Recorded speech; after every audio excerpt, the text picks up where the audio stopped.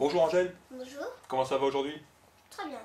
Bon, on se fait un petit tour de mentalisme Oui, Alors aujourd'hui, on va utiliser cette grande planche avec 5 cases de chaque côté et chaque fois numérotées de 1 à 5. Et tu vois, toutes les cases sont parfaitement transparentes de chaque côté. Et on va utiliser euh, deux petits jeux de cartes, deux jeux de 5 cartes.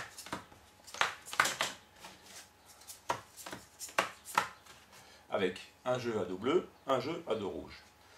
Ces cinq cartes, ce sont les symboles que tu connais déjà, les symboles ESP, qui sont souvent utilisés en mentalisme, avec le, le rond, la croix, les vagues, le carré et l'étoile.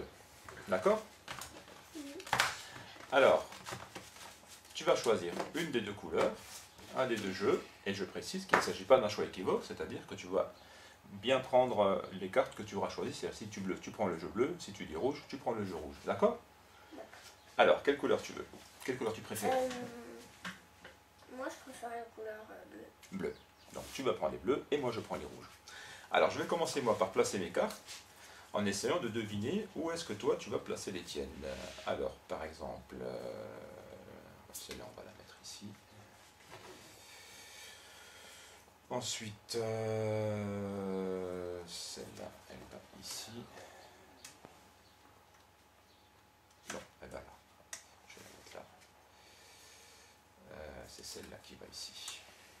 Et- et j'ai failli me tromper, dis donc, dis donc, dis donc. J'ai eu des mauvaises vibrations là. Celle-là, elle va ici. Si elle veut bien rentrer, eh ben forcément, celle-là, la dernière, elle va ici. Et voilà. Alors, tu vas mélanger tes cartes.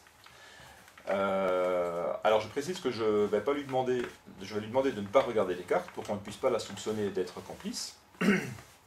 Mais évidemment, le spectateur qui participe au tour peut très bien regarder ses cartes. Alors tiens, tu les mélanges comme ça, comme je viens de faire, tu les mélanges bien?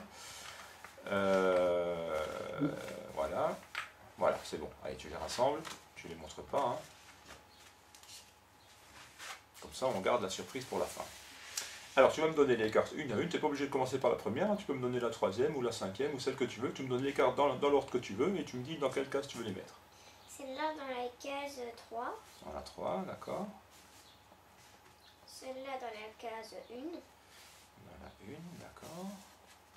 celle-là dans la 5, Très bien, celle-là dans la 2, très bien.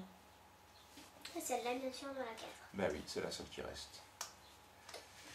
Bien, bien, bien, bien, bien. Eh ben, je propose maintenant de passer à la révélation, de voir si euh, j'ai bien prédit euh, de, euh, où, où tu allais, où tu allais placer tes cartes. Attention, révélation.